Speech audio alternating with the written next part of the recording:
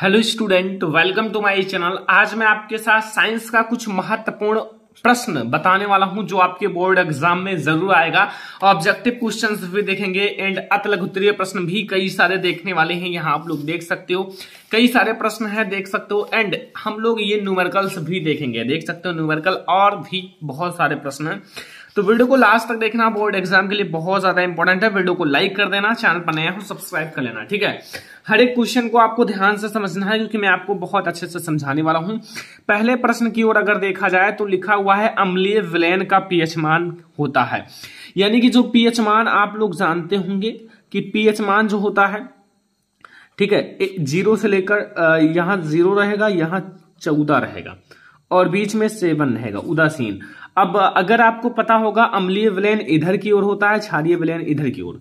तो अम्लीय विलयन का पीएच मान जो होता है, वो सात से कम होता है। आपके पास ऑप्शन है ज़ीरो एंड सेवन, एंड आपके पास सात से अधिक नहीं। आप याद रखना, सात से कम जो होता है, वो अम्लीय विलयन का पीएच मान होता है। कोई भी अगर अम्लीय विलयन है तो उसका पीएच मान सेवन से कम ही होगा। ओके? क्वेश्चन नंबर टू क्या लिखा हुआ है कि एसेटिक अम्ल का आयुपीएससी नेम होगा? एसेटिक अम्ल का आयुपीएससी नेम क्या होता है? सबसे पहले आपको पता होना चाहिए आयुपीएससी नेम लिखते समय जो आयुपीएससी नेम लिखा हुआ है, इसके सामने लिखा हुआ है आयुपीएससी नेम, लेकिन इसका आपको सबसे पहले समूह पता होना चाहिए किस समूह से है। तो एसेटिक अम्ल जो है, वो कार्बोक्सिलिक समूह का होता है, और उसमें ओइक जोड़ा जाता है, और इसका जो सूत्र होता है C S three C O H यानी कि दो कार्बन होते हैं, इसलिए इसका जो नाम होगा मेथ एथ और दो कार्बन को एथ कहते हैं, और एथेनोइक अम्ल हो जाएगा। ठीक है, चार ऑप्शन हैं, लेकिन चारों ऑप्शन में आपका एथेनोइक अम्ल सही है। क्यों? क्योंकि अगर मैंने आपको आईपीसी नेम लिखना बताया है, नहीं वीडियो देखा है तो आप अफकोर्स देख सकते हो। आप लोगों को मैंने पढ़ा दिया है आईपीएससी नेम अच्छे से आप लोग देख लेना, क्योंकि बहुत ज़्यादा इंपॉर्टेंट है वो वीडियो और आपका कुछ नंबर तो पक्का करा ही देगा। तो ये दो इंपॉर्टेंट तीसरा देखो, तीसरा इंपॉर्टेंट क्वेश्चन की पादपों में वायु प्रदूषण कम करने वाली प्रक्रिया है। यानी कि कोई भी पादप है पादप में जो वायु प्रदूषण होता है, वायु प्रदूषण, उसे कम करने वाली प्रक्रिया है। ए, श्वसन वी प्रकाश संश्लेषण, सी, वाष्पोत्सर्जन, डी, प्रोटीन संश्लेषण। तो अगर आपको पता हो तो अच्छी बात है, अगर नहीं पता है तो भी कोई दिक्कत नहीं। कोई भी पादप है पादप में जो आपका वायु प्रदूषण कम करने की प्रक्रिया है, वो है प्रकाश संश्लेषण। कौन सा है? प्रकाश संश्लेषण जो है, वो पादप में वायु प्रदूषण कम करता है। ठीक है? तो बहुत ज़्यादा इंपॉर्टेंट है। अगर आप ध्यान से समझोगे तो सब कुछ समझ में आ जाएगा। यहाँ देखो चौथा नंबर क्वेश्चन ठीक है? चौथा नंबर क्वेश्चन में आपको क्या कह रहा है कि जो निषेचन के बाद, निषेचन जैसे पुष्प में क्या होता है? निषेचन कह सकते हो या प्रागण कह सकते हो। का कौन सा भाग फल में बदल जाता है। मतलब अगर निषेचन होता है तो उसके बाद कौन सा भाग फल में बदल जाता है? एक तो फूल में बदल जाते हैं। फूल से वो मतलब फल में मतलब फूल नहीं, इसमें कई सारे भाग होते हैं। पुष्प के अंडाशय, एंड पुंकेसर बीजांड एंड वर्तिका, वर्तिकाग्र, कई सारे भाग होते हैं। लेकिन यहाँ मेन क्या है कि जो निषेचन होता है, उसके बाद पुष्प का कौन सा भाग फल में बदल जाता है? देखो, यहाँ लिखा हुआ ए पुंकेसर वी वर्तिका सी अंडाशय डी अब आप लोग सोचेंगे कौन सा बदल जाता है तो वो आप लोग याद रखना, अंडाशय जो है, ये बदल जाता है, ठीक है? अंडाशय किसमें बदल जाता है? फल में बदल जाता है, ठीक है? याद रहेगा? अच्छी बात है, अगर आपको याद रहे, क्योंकि बहुत ज़्यादा इंपॉर्टेंट क्वेश्चन है। यहाँ देखो, बहुत ज़्यादा वीआईएमपी क्वेश्चन आ चुका है वेरी इंपॉर्टेंट है यार। तो याद रखना वैसे तो।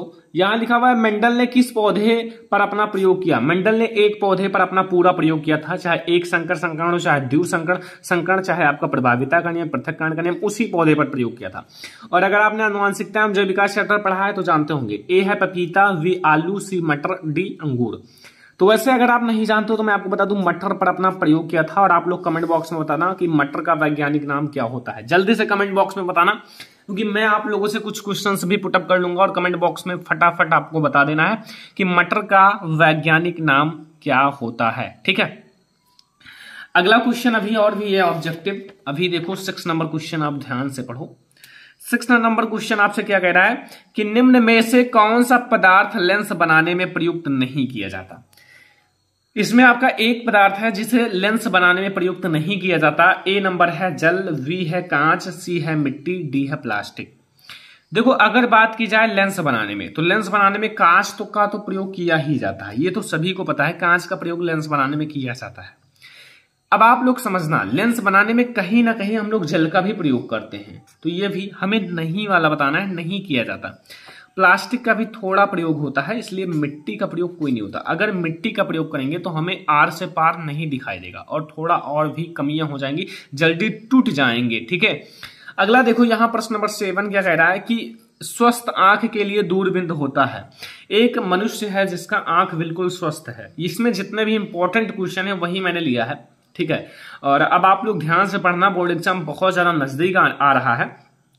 तो स्वस्थ आँख के लिए जो है दूरबिंद होता है। ए ऑप्शन है 25 सेंटीमीटर, बी ऑप्शन है 10 100 सेंटीमीटर, सी ऑप्शन है 50 सेंटीमीटर, डी ऑप्शन है इनफाइनाइट। तो अब आपके पास चार ऑप्शन हैं, अब आप लोग गेस कर सकते हो कौन सा सही हो सकता है, लेकिन आप लोग याद रखना, अगर दूर बिंदु की बात की जाए और आपका आँख बिल्कुल स्वस्थ है तो इनफाइनाइट बिल्कुल सही होगा। क्योंकि कोई भी अगर दोष नहीं है तो आप बहुत दूर तक देख सकते हो तो इसीलिए इनफाइनाइट करेक्ट है, ठीक है? अगला, विद्युत धारा का ऐसा मात्रक क्या होता है? विद्युत धारा का ऐसा मात्रक आपको पता होगा। क्योंकि विद्युत धारा का मात्रक मैंने आपको कई बार पढ़ाया है चैप्टर में भी पढ़ाया है तो विद्युत धारा का जो मात्रक होता है, वो होता है एम्पियर याद रखना, बहुत ज़्यादा इंपॉर्टेंट है। यहाँ से आपको टॉप एट ऑब्जेक्टिव क्वेश्चन बता दिया गया, जो आपके बोर्ड एग्ज़ाम के लिए बहुत ज़्यादा इंपॉर्टेंट है। इसी क्वेश्चन को आपको कर लेना है। फिर हम लोग अत लघुत्तरीय प्रश्नों को देखते हैं, ठीक है? पहला प्रश्न आप ध्यान से पढ़ो, क्या कह रहा है? कह रहा है कि ताजे दूध के पीएच मान छह है। मतलब जब ताज़ा दूध होता है तो उसका पीएच मान जो होता है वो सिक्स होता है। लेकिन दही बन जाने पर इसके पीएच मान में क्या परिवर्तन होगा, उत्तर दीजिए। मैं आपको एक बार समझा देता हूँ दूसरे तरीके से। एक होता है दूध और एक होता है दही। ठीक है? दूध से दही बनता है।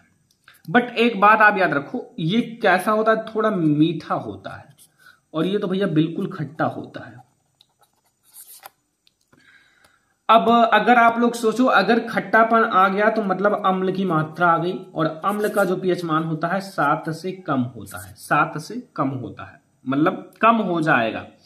एक बात रखना, मीठा से खट्टा हो जाना, यानी कि अम्ल में कमी होना।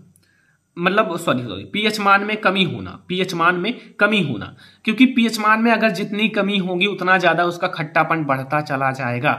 इतना याद रखना थोड़ा सा माइंड अपना ग्रो करो और सोचो, अगर हम अम्ल का पीएच मान दो है तो वो बहुत ज़्यादा खट्टा होगा, उसे हम खा नहीं सकते जल्दी। ऐसे बहुत ज़्यादा मतलब अभी आपको समझा दूँगा यहाँ से, चलो। ताजे दूध का पीएच मान सिक्स होता है, ये आपको पता चल गया। परंतु दही बन जाने पर इसके पीएच मान में कमी होगी। मैंने बताया नहीं, कमी होगी।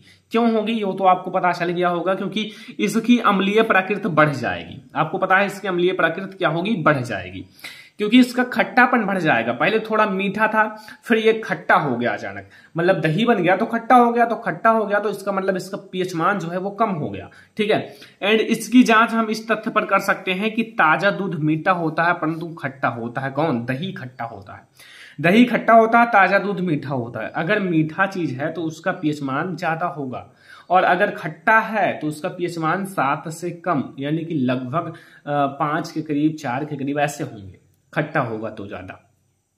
तो यहाँ को ये समझ में आ गया क्वेश्चन एनसीईआरटी का इंपॉर्टेंट क्वेश्चन है, इसलिए मैंने सोचा कि आपको बताया जाए। एनसीईआरटी का बहुत ज़्यादा इंपॉर्टेंट क्वेश्चन है, इसलिए मैंने आपके साथ शेयर किया है। तो ज़रूर याद कर लेना, बहुत ज़्यादा इंपॉर्टेंट है, ठीक है?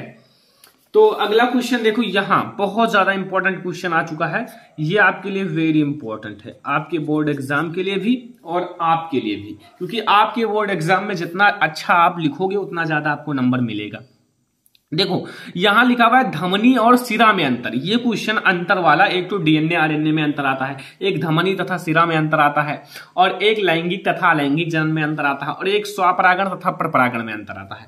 मैं आपको बता दूँ, इतने अंतर आपसे पूछे जाते हैं, लेकिन आज सबसे इंपॉर्टेंट अंतर की बात करूँगा।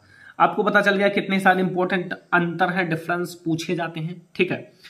तो अब हम लोग डिस्कस करेंगे धमनी तथा सिरा में अंतर। तो सबसे पहले आप धमनी एक तरफ़ हेडिंग डाल दो, फिर इसके लेकर एक बढ़िया सा लाइन खींचो, फिर सिरा हेडिंग डाल दो। धमनी और सिरा आप हेडिंग डालने के बाद एक एक पॉइंट बताता हूँ। पहला पॉइंट इसमें रुधिर हृदय से अंगों की ओर बहता है। जो धमनी होता है, इसमें रुधिर जो होता है, हृदय से अंगों की ओर बहता है। मतलब हृदय से आता है और अंगों की ओर बहता है। लेकिन सिरा में क्या होता है? इसमें रुधिर अंगों से हृदय की ओर बहता है। उल्टा है डिफरेंस है। थोड़ा सा आपको अपोजिट समझना है। इसमें क्या होता है? रुधिर हृदय से अंगों की ओर बहता है और इसमें रुधिर अंगों से हृदय की ओर बहता है। एक को याद करो उसका उल्टा करके दूसरा ऑटोमेटिक याद हो जाएगा। ठीक है? आप धमनी पे ज़्यादा फोकस करो तो आपका सिरा वैसे कंप्लीट हो जाएगा। इसमें हृदय से अंगों की ओर और, और इसमें अंगों से हृदय की ओर। बस इतना आपको डिफरेंस है। बस पहला पॉइंट हो गया। दूसरा इसकी दीवारें अत्यधिक मोटी तथा लचीली होती हैं। और इसकी दीवारें अत्यधिक पतली व कम लचीली होती हैं। मैंने कहा है, एक याद करो, दूसरा ऑटोमेटिक याद हो जाएगा। क्योंकि इसमें आपको पता चला कि इसकी दीवारें जो होती हैं, अत्यधिक मोटी होती हैं तो इनकी दीवारें अत्यधिक पतली होती हैं। ये ज़्यादा लचीली होती हैं, ये कम लचीली होती हैं। बस एक याद करो, दूसरा ऑटोमेटिक पक्का हो गया। तो यहाँ आपको समझ में आया कि इसकी दीवारें अत्यधिक मोटी तथा लचीली होती हैं, और यहाँ पता चला इसकी दीवारें पतली तथा कम लचीली होती हैं। तीसरा, ये खाली होने पर नहीं पिचकती हैं, और ये खाली होने पर पिचक जाती हैं। पिचकने का अर्थ है गुब्बारा जैसे खाली होने पर पिचक जाता है। लेकिन ये जो होती हैं, ये धमनी जो होता है, ये खाली होने पर नहीं पिचकती, और ये क्या होते हैं? पिचक जाते हैं। सिरा जो होते हैं, वो खाली होने पर पिचक जाते हैं। बस, अगला देखो, इसका रंग जो होता है गुलाबी या चटक लाल होता है, किसका? धमनी का। गुलाबी तथा चटक लाल होता है और इसके रंग जो होते हैं, लाल या नीले बैगनी रंग का होता है। तो यहाँ से मैंने आपको चार चार डिफरेंस बता दिया, चार इसमें चार इसमें, और चार से ज़्यादा आते नहीं, और याद कर लोगे तो कोई दिक्कत है नहीं, लेकिन चार से ज़्यादा आपके बोर्ड एग्ज़ाम में नहीं आते हैं लगभग। तो इसीलिए मैंने आपको फोर ही डिफरेंस डिस्कस किया है।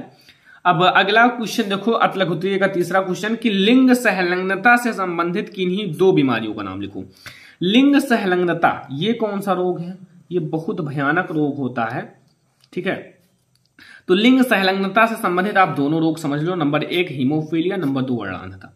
हीमोफीलिया जब आपका कहीं भी आपके शरीर में कट जाए तो खून बहना बंद नहीं होता। वर्णांधता लाल और हरे रंग में विभेद नहीं कर पाते हैं, ठीक है? इसीलिए जो वर्णांधता से रोग से पीड़ित होते हैं, उसे रेलवे में भर्ती नहीं किया जाता है, ठीक है? ये तो आपको पता होगा छोटा मोटा जानकारी है।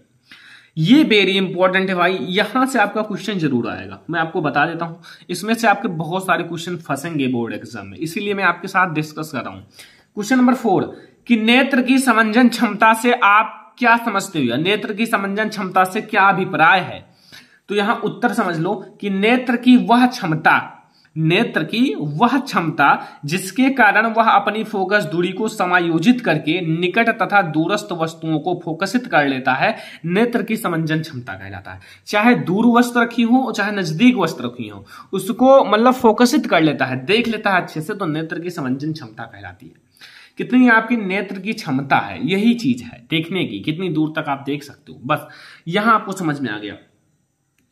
अब आओ, हम लोग न्यूमेरिकल भी सॉल्व करते हैं। ठीक है?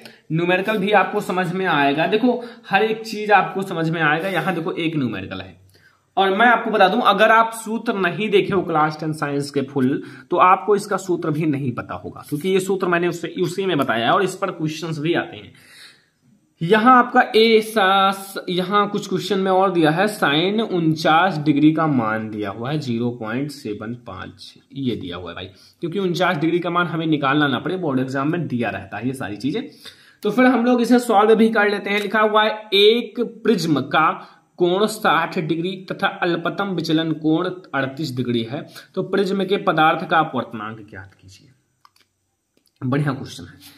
इसमें देखो प्रिज्म का कोण, यानी कि प्रिज्म का कोण को हम लोग दिया है, यानी कि ए प्रिज्म का कोण को 60 डिग्री ए से डिनोट करते हैं।